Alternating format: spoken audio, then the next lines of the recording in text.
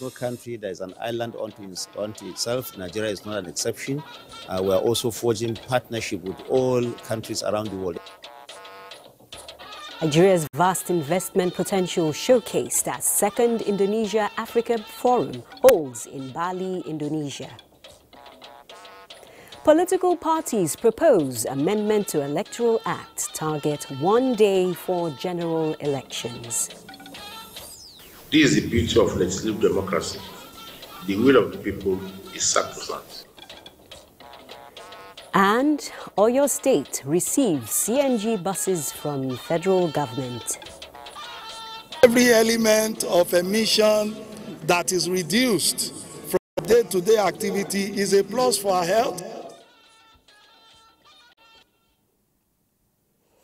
Hello, it's always a pleasure to have you join the network news on NTA. I'm Ja Atutijani. Joining me tonight on business is Musa Abubakar.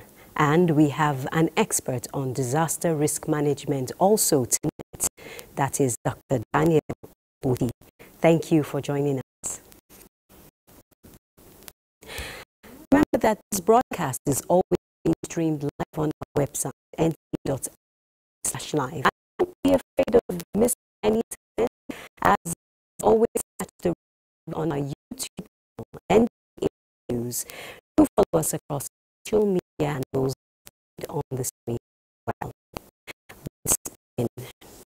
President Kashim Shettima says President Bola Tinubu is worried about Nigeria's security situation. He's not taking it lightly, calling for freedom and collective effort to address the insecurity in West Africa Sahel region. House correspondent Abdurrahman Jibrila reports the Vice President stated this to an audience with the leadership of the news agency at the presidential villa ahead of the upcoming NAN International Lecture on the Health Security. Vice President Tima expressed optimism about potential outcomes of the conference, believing it will come up with lots of perspectives on how to address insecurity. Commending the NAN, NAN's crucial role in Nigeria's media landscape, the Vice President said it would help to bridge the information gap and shape public discussion on national issues. The managing director of the agency, Ali Muhammad Ali, disclosed the theme of the conference as Insecurity in the Sahel 2008 to 2024, dissecting Nigeria's challenges, genesis, impacts and options. The MD announced that the lead speaker at the lecture billed for September 25, 2024 is Mohamed Ibn Chambas, former chairperson of the ECOWAS Commission. The conference is part of NAN's efforts to expand its role beyond news dissemination and to actively contribute to national discourse and problem solving. Ali also revealed that President Bola Ahmed Tinubu is set to sign a memorandum of understanding with China Xinhua News Agency during his current visit to China to further expand NAN's international partnerships. Meanwhile, political parties in Nigeria are proposing an amendment in the Electoral Act and Constitution for the Independent National Electoral Commission INEC to take over the conduct of local government elections and for all general elections to hold on a single day. This formed part of 35 proposals presented by members of the Inter-Party Advisory Council at an interactive session with the National Assembly Joint Committee on Electoral Matters. John Yaku reports. IPAC is also seeking amendments on the regulation of campaign finances, electronic transmission of election results, penalty for Electoral Act violators, election electoral umpire leadership rather than appointment, among other areas, to improve on the process. A single day election will reduce cost, minimize disruption to economic and academic activities, maintain voters' enthusiasm throughout the process. This is the beauty of legislative democracy. The will of the people is sacrosanct. Citizen participation through elections the, is the foundation for any democracy. We do not improve on implementation of electoral act for the next elections, our country's democracy could be severely challenged. 17 out of 18 political parties adopted the position of IPAC as they presented their memoranda. A petitioner or even a respondent may require expert evidence, which will be a product of inspection of electoral documents and which may occur post 21 days uh, period. INEC staff, especially those who are at the polling units where votes are cast, where cameras, like the police in the US and other countries, you know, do. In the Committee of Nation, we should avoid a situation where we make ourselves a mockery uh, of technology disposition. The last election, MP election, you know, we voted um, electronically, and um, it came out well. The Joint Committee is expected to meet other stakeholders before presenting its report for consideration on the amendment of the 2022 Electoral Act. John Yaku, NTA News. President Bola Ahmed Tinubu has made a global commitment to ensure that Nigeria's ongoing reforms are in solidarity with other nations to revive and strengthen multilateral cooperation. The president was a delegate at the high-level forum on a multi-stakeholder partnership and the second Indonesia-Africa Forum in Bali, Indonesia. Salihu Guanara has the details. President Joko Widodo of the Republic of Indonesia received the African leaders in Bali, the commercial center of Indonesia. For the president, who has barely a month in office, the Indonesia African Forum with a commitment to addressing common global challenges of economic shutdown, unemployment, inflation, and regional political tensions. This is another platform to reawakening the 69-year vision of the Asian African Conference. As a giant in the African continent, President Bola Tinubu, who is the chairman of ECOWAS, in a message updated the forum about his efforts in championing initiatives to boost regional trade, enhance infrastructure, and promoting political stability across West Africa. Uh, there's no country that is an island unto, unto itself. Nigeria is not an exception. Uh, we're also forging partnership with all countries around the world, especially uh, with the Asian countries, uh, Indonesia particularly. Uh, we are coming here to bring the experiences of Nigeria, what we are going through in terms of uh, economic prosperity, in terms of the challenges that we also face. And we're also taking the experience of other nations, especially Indonesia here, to see us to also grow economically, but also to provide peace and security for the entire world. Uh, like President Bola Ahmed Tinubu has always said consistently, Nigeria is open for business. Nigeria is also uh, an important partner uh, in the global affairs, and therefore, uh, as a leading African country, Nigeria will always take its place to ensure that our country remains prosperous. With only six years left until 2030 and uh, only 17% of sustainable development goals achieved, the forum deliberated on a new direction and strategy to make Sustainable Development Goals achievement the main focus of global and regional development priorities, including the African Agenda 2063. Nigeria is a leading uh, country in Africa, and therefore, uh, whatever we do towards uh, Agenda 2063, Nigeria will play a key role in, in agriculture, in mining, uh, in digital technology, and all other sectors that will ensure that Nigeria uh, becomes uh, a bigger and more prepared nation, just as Africa also uh, would. The forum featured bilateral engagements in Bali, Indonesia. Saliu Guanara, NTA News. And still talking sustainable development goals, disaster risk reduction considered a major strategy which, if mainstreamed and downscaled to all parts of the country, would greatly reduce disaster casualties recorded yearly. This is what experts are saying at a three-day workshop on early warning for all, a draft of country situational analysis report for 2023 to 2030 and 2024 to 2027. Ilyasu Yakubu reports. Disaster risk reduction and early warning is an integrated system of hazard monitoring, forecasting and prediction, disaster risk assessment, communication, as well as preparedness and processes which enables individuals take timely action of hazardous events. This workshop organized by the National Emergency Management Agency, NEMA, in collaboration with World Meteorological Organization and United Nations Development Programme for Safe Resilience Project is key to addressing the ugly trend. It is on record that the current escalation of disaster events in form of conflicts, banditry, and annual floods, coupled with extreme weather events have triggered the compelling desire to develop the DRR strategy and action plan for Nigeria.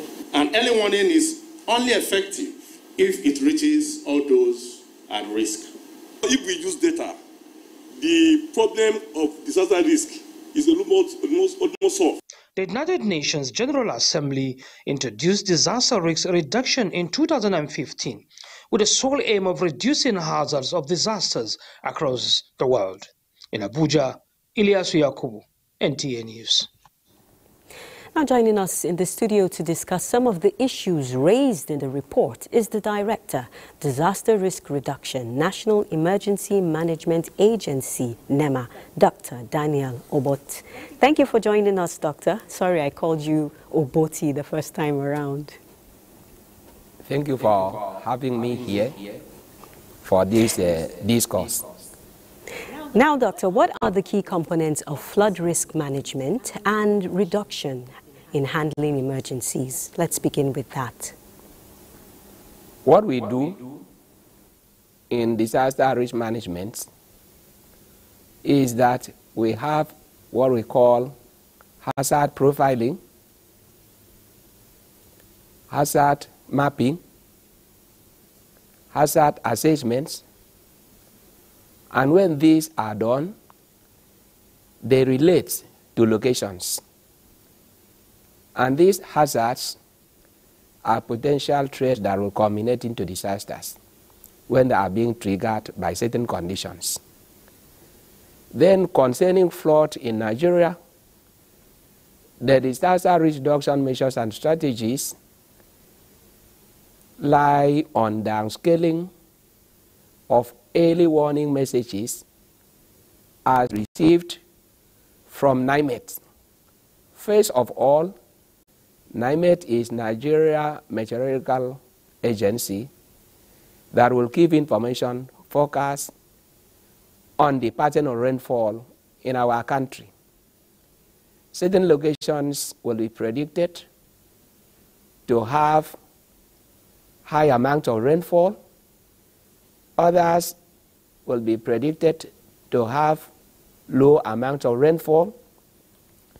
From these forecasts by NIMET, Nigerian Hydrological Services Agency, the federal government of Nigeria statutory institution saddled with the responsibility of giving annual flood outlook will further, using the seasonal rainfall pattern earlier forecasted by NIMET to give outlook on the flood situation in our country, there are certain areas that will be predicted or listed in the flood outlook by NIHSA that some of these areas, all government areas of states, will experience serious flood so and they so I'm sorry to cut you there, Doctor, but the now that you've mentioned that with this prediction you work together with these other bodies to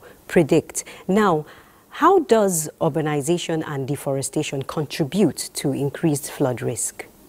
Do they play a factor? Yes. yes. Ah, in respect of urbanization, which is a major issue in flood uh, pattern in Nigeria, building without complying with building codes, town planning laws, and when people have moved from their local uh, communities to urban areas with high population, settlements will be raised on areas that should not. There will be non-compliance with town planning laws, building codes will not be taken into consideration with this encroachment on natural water flow path, these paths will be blocked and prevent free flow of water. The urbanization is a major issue. Then when we are talking about deforestation, the natural vegetation cover is being removed by cutting of trees for firewood and building activities, by cutting of trees for farming, by cutting of trees for other economic activities, leaving the soil bare to be exposed to rainfall. And this will give the rainfall strength to wash away the surface of the soil. There will be no activities, no vegetation to protect the amount of rainfall that will be received on the earth surface. Then the so what will be, uh, how does your agency incorporate preparedness, mitigation and response strategies to, in your early warning systems for it to be effectively implemented in these flood-prone areas? In preparedness, what we do is that, for instance, this particular year, 2024, we carried out what we call downscaling of early warning alerts because disaster management is not limited to the national headquarters. We take it to the states. We take it to the local government areas. In that preparedness, we inform the state, we educate the communities what should be the strategies, the measures, the actions that should be undertaken to avert the flood situations and to reduce the adverse impacts of flooding to economic activities, to communities, to life pattern, to health. We realize that this particular year, there is ongoing cholera outbreak. And this cannot be differentiated or cut off from the impact of flooding because some drainages were blocked, waters could not flow, and it, it made, it, it, was a, a, ground for maybe in areas that we have uh, broken pipes, these kind of situations affect, pollute drinking waters. And in some of these places, the flood water that has been going with the sediments flow into streams that are being used by their cooking and domestic uses. All right, Doctor.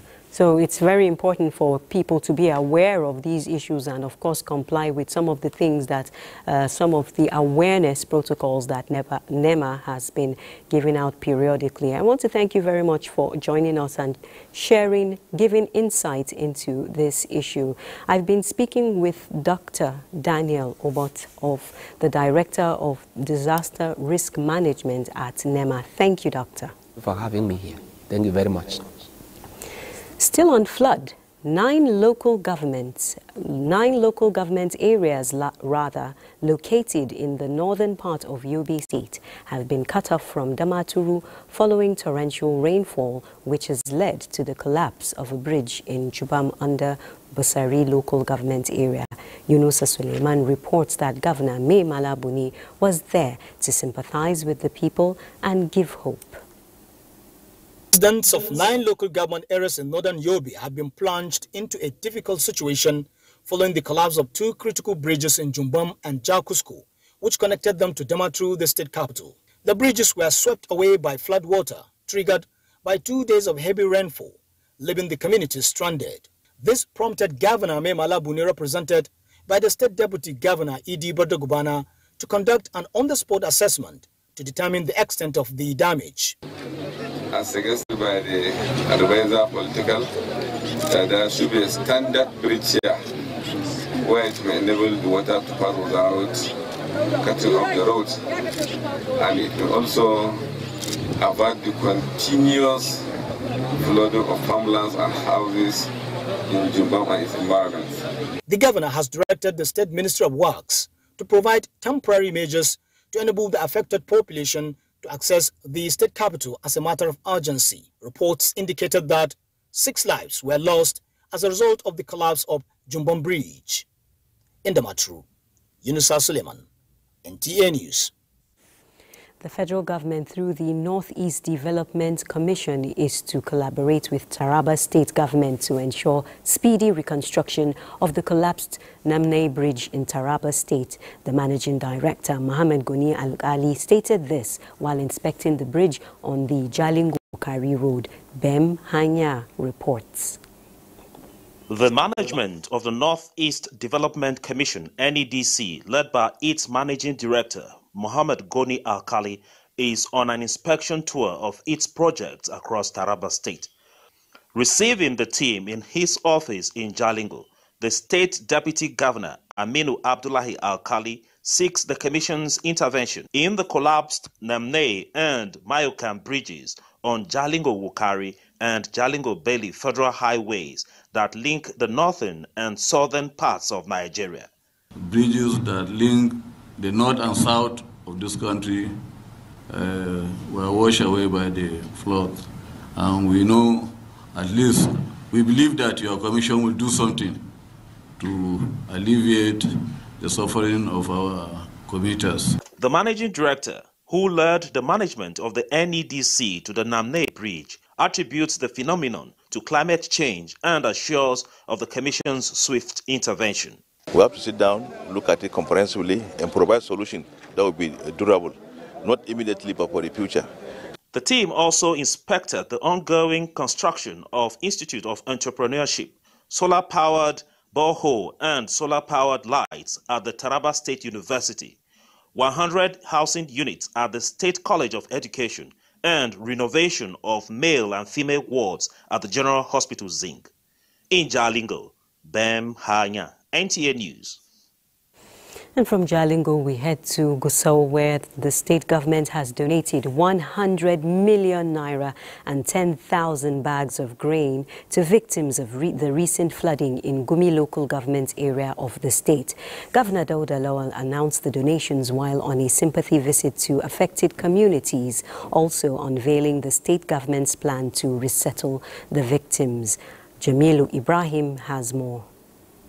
Sand flooding in Gumi local government area of Zamfara state, which submerged thousands of houses, farmlands, and livestock, has resulted in massive displacement of households, the situation requiring urgent intervention of the relevant authorities. After receiving reports from various committees immediately deployed by the state government to commiserate with the victims and assess the situation for appropriate action, Governor Dauda Lawal is now at the ravaged communities to see things for himself. The Emir of Gumi's palace was the governor's first point of call, where he sympathized with the emirate over the sad event and announced the state government's donations of 100 million naira and 10,000 bags of assorted grains to the victims. This is in addition to the allocation of a plot of land away from the danger zone to each of the households that lost their shelters to the flood. The Emir of Gumi, Justice Lawal Hassan retired, who said more than 10,200 households have lost their houses to the flood, uploaded the governor for his concern to the plight of the victims. The governor was also in Gary district, which appears to be the community was hit by the disaster, where he assured them of the government's commitment to taking proactive measures. We are also going to build drainages as well as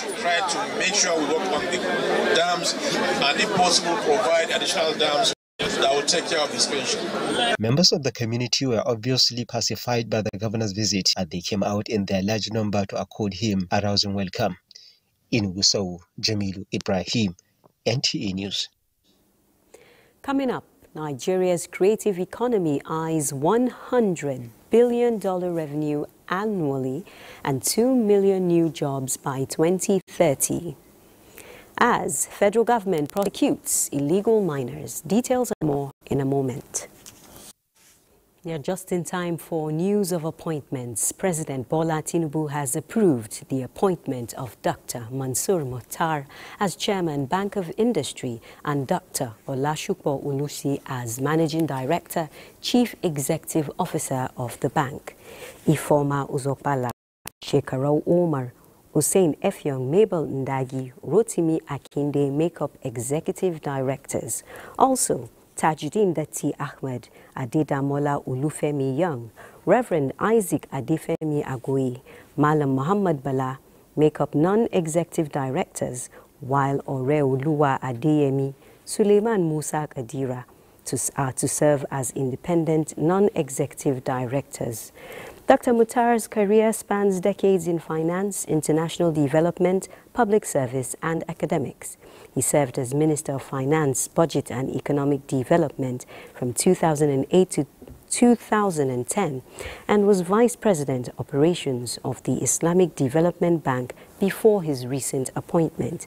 The President expects the new board to work harmoniously and diligently with utmost fidelity to the nation in driving the mandate of this critical institution as a development vehicle to provide support for projects which enhance job creation, poverty alleviation, and improve the socio-economic condition of Nigerian families.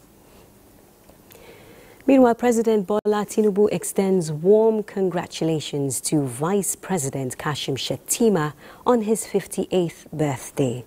Vice President Shettima is an academic, accomplished banking professional, raconteur, and leader. He was the governor of Borno State from 2011 to 2019 and senator representing Borno Central from 2019 to 2023. President Tinubu joins family, friends, and members of the executive arm of government to celebrate the quintessential administrator, orator, and bibliophile on his special day. The president commends Vice President Shettima for the enthusiasm vigor and affability he brings to government, governance rather, and thanks the Vice President for his support, wishing him robust health and renewed strength in his service to the nation. Similarly, President of the Senate Godswill Akpabio felicitates with Vice President Kashim Shettima on his 58th birthday, describing him as a committed Democrat and supportive Vice President who has contributed immensely to the stability of the polity. Senator Akpabio says Vice President Shettima's vision for Nigeria and his extensive experience have been vital in guiding federal government policies and initiatives. Similarly, Speaker, House of Representatives Tajudeen Abbas has praised Vice President Kashim Shettima as a dependable ally to President Tinubu and a stabilizing factor in the APC-led administration. Speaker Abbas says Nigeria needs more public servants like him and wishes VP Vice President Shettima more years of service to the country in sound health. Also felicitating with the Vice President, Deputy Speaker House of Representatives Benjamin Kalu describes the Vice President as a patriot who has made invaluable contributions to Nigeria's development. Security matters next. The Federal High Court Abuja has fixed 11th September 2024 for ruling on bail application filed by 10 protesters against their continued remand in police custody. The 10 defendants in the matter were arraigned by police for their alleged involvement in conspiracy, treasonable felony, incitement against public peace, and destruction of public property opposing a motion filed by defense counsel for their based on presumption of innocence. Prosecution counsel Simon said Simon Lau said grievous allegations had been made against them and there were no exceptional circumstances to warrant bail at this to warrant bail at this time. The Nigeria Police also activated Interpol tools and other global policing networks to support ongoing domestic investigations aimed at locating and apprehending a foreign national plotting to undermine the democratically elected government in Nigeria through unconstitutional regime change and orchestrating violence across the country during the nationwide protest.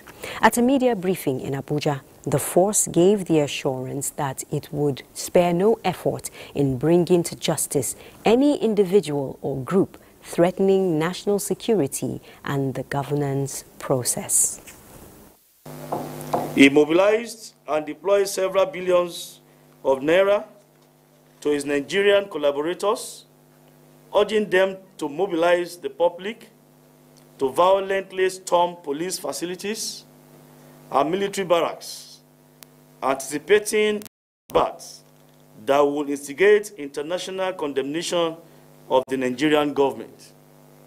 These acts are in clear violation of the Terrorism Prevention Act of 2011 and other laws of this country.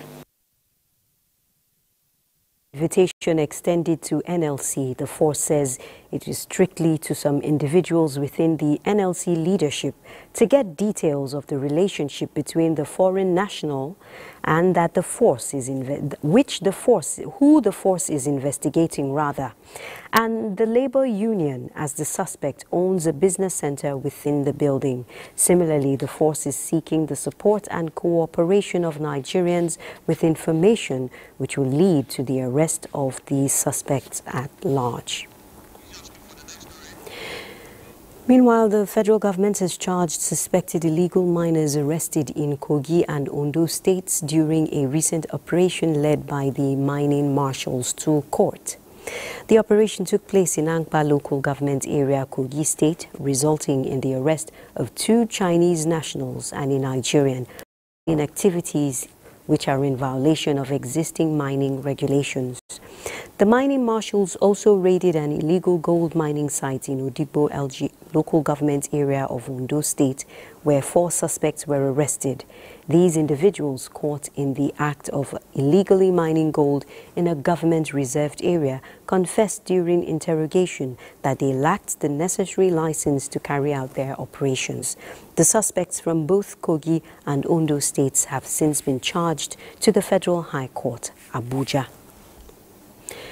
Meanwhile, to ensure reduction in the cost of transportation, the federal government has donated 20 CNG buses to Oyo State. Lukman Hassan reports that the buses will be used both within and outside Oyo State. CNG initiative introduced by President Bola Tinubu last year after removing petroleum subsidy is to Nigerians enjoying low transportation fare nationwide. The Chief Executive Officer of Presidential Compressed Natural Gas Initiative, Michael Oluwagbemi, noted that the donation is a promise kept by the President Tinubu-led administration. About making it sustainable, about uh, also ensuring that we are good custodians of the assets that we're given, and also ensure that the jobs that were created in manufacturing these buses can continue to be created.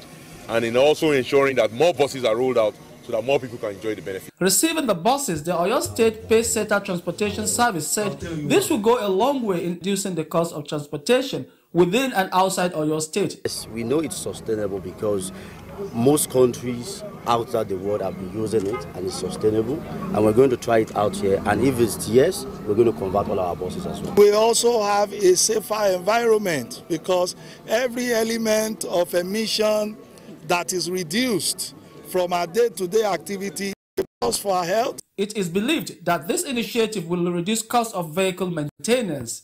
In Ibadan, Lukman Hassan, NTA News. And a report just reaching our news desk indicates that the mother of late President, former President Umaru Musa Yar'Adua has just passed on. We'll bring you the details in subsequent bulletins. And now it's time to join our Lagos Network Center for more reports.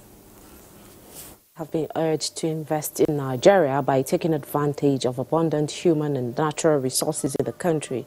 This came to fore at a forum in Lagos aimed at showcasing business-friendly opportunities in the country to investors. Bolaji Akim completes the story population of over 200 million people, Nigeria is endowed with enormous natural and human resources waiting to be explored.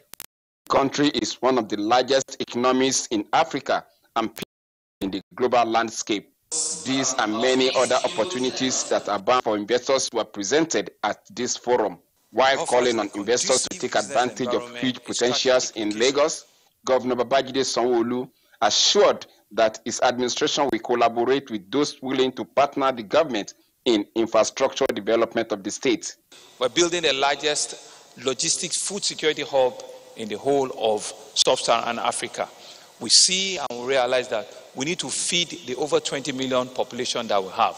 And we say to ourselves that one of the ways to secure the tomorrow is to make sure that food security, which is one of the major security challenges that we have in the world, Lagos can build a logistics hub that can keep almost 90 to 120 days of supply. With federal government introduction of various incentives to boost investment in marine and blue economy, the minister said more business opportunities are now open for investors in the sector, as this has also positioned Africa as a critical player in the global economy. The federal government is actively encouraging investment in capital intensive ventures, such as in the expansion of the domestic shipping fleet and private sector led maritime development zones. The forum provides unique opportunity to explore new avenues for investment and strengthen the trade ties between Nigeria and our foreign allies. In Lagos, Bolaji Akim, NTA News. Promoting Nigerian culinary culture is a priority for Onga Seasoning Cube made by Promasidor. The company is out to reward its customers with Onga Taste the Millions promo rolled out to assure its customers that Mama's helping hand will not only assist in the kitchen but in the family's budget. Langre Belei, who was press briefing to launch the promo, has this details. Counting Onga, a seasoning that enables families to savor delicious delicacies, was launched into the Nigerian market in the powdery form. Ten years into its launch, Onga was transformed into a cube format. And to mark this anniversary, Promasidor decides to roll out customers' reward program to the tune of 250 million naira worth of cash and prizes to lucky winners. How does one win? Head of marketing department of the company, explains. To win, all you have to do is buy either one pack of the Onga by 90 beef or chicken, or you buy two packs of the Onga chicken or beef by 50 cubes, and then take your empty wrappers to the redemption center nearest to you. They would give you a scratch card. When you get the scratch card, you scratch the panel and then you text the code to 1393. Once you've done that, you've automatically entered into the draw. Promasidor said is a means to express their gratitude to its committed consumers who have kept faith with the company. The, this uh, promotion is a very good occasion for us to show how uh, grateful the uh, consumer has been with, with uh, Onga, and that's our way of giving back to the consumer. Unique items that will also be won in the course of this promo there will be recharge cards also to be won, and also a lot of uh, other prizes will come in form of money, in form of cash. The promo is targeting about 250,000 Nigerians to enjoy cash gifts and other giveaways. Promo starts 1st of September, running through to 1st of October, with the first electronic draw coming up on the 13th of this month. Onga seasoning powder is available in a range of delicious flavors. In Lagos, Larry Bilayi. Time now for some messages. The news will be back shortly. Just in time for financial news, and the Central Bank of Nigeria has prayed the Federal High Court to order Binance Holdings Limited to provide further clarification on the documents it is requesting from the Apex Bank to pursue its defense. Binance Holdings is facing trial for alleged money laundering and tax evasion to the tune of 35 million US dollars. The cryptocurrency company is one of several designated non-financial institutions fingered by the EFCC as being complicit in manipulating the financial system through money laundering. At Monday's proceedings, EFCC counsel Ekele Iheanacho argued that although BN governor or his representative has been subpoenaed, more time is required to respond to the defendant's request. The head of Binance, Tigran Gambaryan, has been in correctional custody over the allegations and is seeking to be granted bail, citing ill health as reason for the motion. The matter has been adjourned to September 4, 2024. And still, and for more business news, here is Musa Abubakar. Musa. Thank you, Naja. Dangote Refinery has commenced processing of premium motor spirit, a development observers say has the potential to transform the global market for fuel. Meanwhile, oil prices stabilized on Monday as Libyan oil exports remain halted and following losses at the end of last week on expectations of higher OPEC plus production from October and signs of sluggish Chinese and U.S. demand.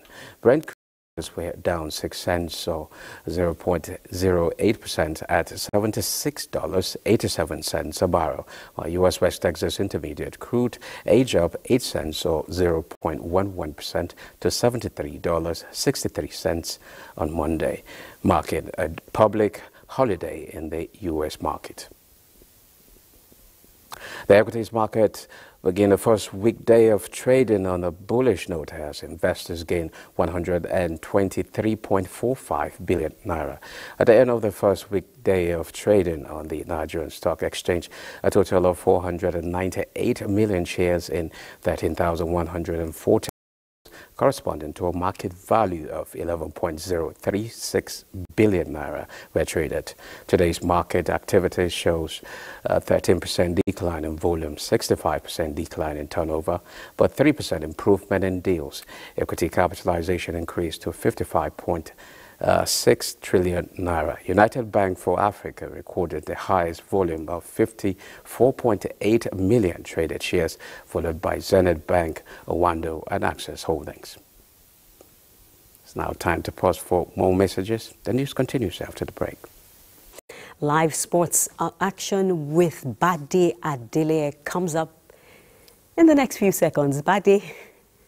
Many thanks, Najatu. And of course, there's good news for Nigeria. So let's begin with the Paralympic Games as Nigeria's Eniola Mariam Bolaji earlier today became the first African athlete to win a medal at the para badminton at the Paralympic Games after winning a bronze medal for Team Nigeria in the women's singles LCL3. Bolaji defeated a Ukrainian opponent, Oksana Kozina, in straight sets to newly attended the first set 21-9 and the second 21-9, winning Nigeria's first Paralympics medal in Paris. Let's return home now, as major cities in Nigeria are set for more grassroots talent hunts as Arise Football Academy continues to discover footballers to say of national teams in the country. At the Turf Arena in Abuja, one of the key events in the north central region of the country where the academy scouted players were engaged in neck battle across under 13, under 15 and under 17 categories. The system of, of the whole uh, process of the football development is to catch them young. And we have always said it that there are a lot of talent in the country. I've told people that Nigeria can win the World Cup, but we must find a pathway through education, through football, then through structure of proper football development. Now, heroes of football in the country have been assured of improved welfare for their contributions to the development of the sport in the country. This is coming from the Nigeria Football Federation, who gave reassurance at an event where they acknowledged the roles of upcoming serving and retired officials in Abuja.